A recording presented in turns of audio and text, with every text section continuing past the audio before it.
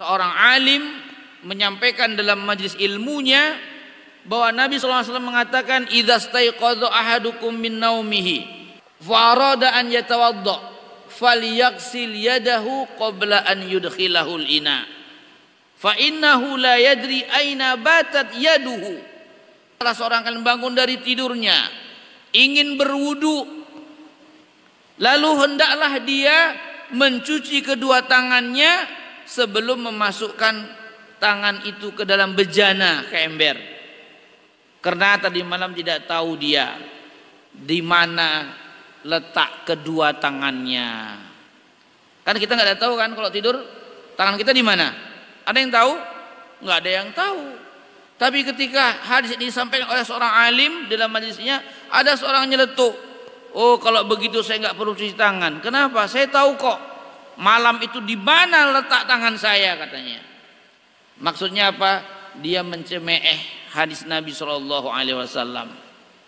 Besok tidur dia malam diikat tangannya ke belakang, diikat ke belakang begini supaya dia besok kalau bangun tidur mau berwudu tidak usah mencuci kedua tangannya. Kenapa? Dia tahu tangannya itu di mana. Diikat tangannya di belakang. Apa yang terjadi? Besoknya dia meninggal dalam keadaan tangannya masuk ke lubang anusnya sampai siku.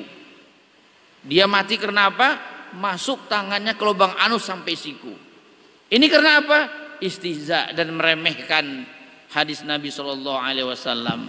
Inilah yang Allah katakan falyahdharil ladzina yukhalifuna am amri an tusibahum fitnatun au yusibahum adzabun alim. Hendaklah berhati-hati orang-orang yang menyelisih perintah Rasul.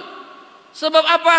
Akan Allah timpakan kepada mereka ujian atau Allah akan timpakan kepada mereka azab yang pedih. Inilah akibat apa?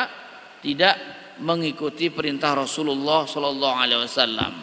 Para kita sampaikan bahasanya kalau kita tidak mampu atau belum mampu melaksanakan, tidak usah meremehkan, tidak boleh mengolok-olok hadis, mendingan kita diam.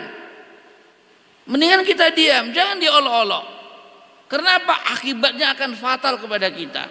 Inna syani'aka huwal abtar kata Allah. Sesungguhnya hai Muhammad, orang-orang yang mencacimu, meremeh kamu, huwal abtar akan terputus.